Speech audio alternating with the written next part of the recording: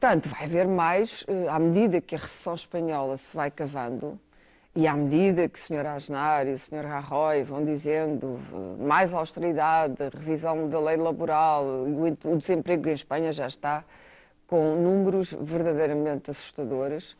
Uh, de antes, o desemprego na Andaluzia, um bocadinho antes do consulado González, era da ordem dos 30%.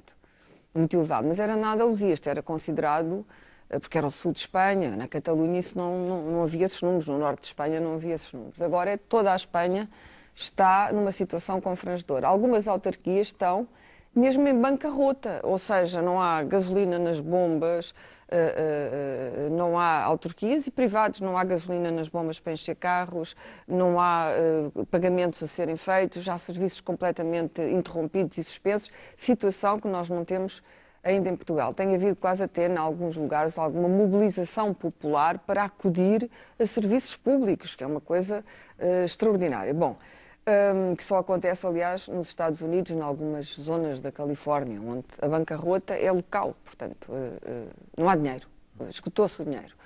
Ou seja, não há dinheiro nem nas caixas multibanco. A Espanha é um problema e, e, e Passo Coelho não pode rigorosamente dizer nada, porque uh, aquilo que o Rui disse sobre a irracionalidade europeia é exatamente isto: é de facto o vírus. Eu vou usar outra imagem médica, que é o vírus uh, está em mutação e vai criando resistências a estas terapias, que são terapias de curtíssimo prazo, não servem para nada. Porque, uh, porque, por alguma razão, a economia americana está em retoma e a economia europeia não está. Porque a economia americana seguiu outra via completamente distinta, que foi a de recusar a austeridade absoluta e injetar dinheiro na economia. A economia europeia resolveu austeridade, austeridade, austeridade. Vamos ver, eleições gregas, o primeiro teste. O que é que vai haver? Pulverização. do que os americanos fizeram à nossa economia. Pulverização, também, é? pulverização. Eles estão preocupados com a economia deles e nós temos que preocupar-nos com a nossa, com a nossa europeia. Nossa. É um facto que esta austeridade não é a resolução do problema. Já se percebeu. Pode eleger Sarkozy, pode reeleger Merkel, mas não vai ser a solução do problema. Não vai ser, é impossível.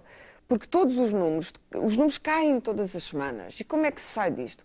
Com a destruição de, das estruturas económicas dos países? Não. Os países periféricos não aguentam as terapias. É evidente que a França e a Alemanha aguentam. Depois há o famoso fundo, o grande fundo europeu, que anda toda a gente outra vez uh, à cabeçada, como é que se vai uh, uh, arranjar dinheiro para esse fundo. Portanto, há aqui tantas variáveis que qualquer coisa, de facto, Passo Escolho nos venha dizer não serve para nada e vai haver mais austeridade. Pedro. Vai haver mais austeridade. Bom. Como, é que, como é que essa austeridade vai ser em cima desta austeridade? É aquilo que eu, que eu na altura vou perguntar.